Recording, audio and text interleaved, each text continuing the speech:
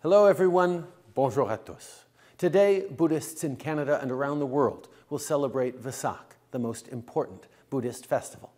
It's a time to commemorate the birth, enlightenment, and passing of Gautama Buddha, the founder of Buddhism.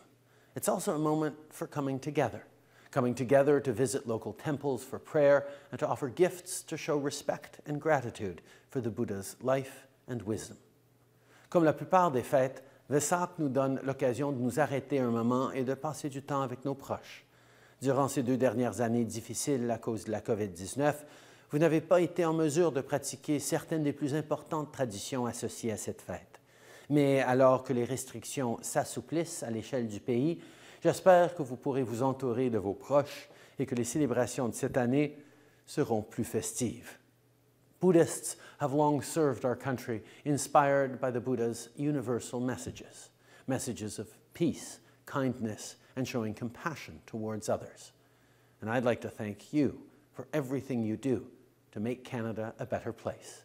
De ma famille à la vôtre, Sophie et moi souhaitons un Vesak heureux et paisible à tous ceux qui observent ce jour sacré.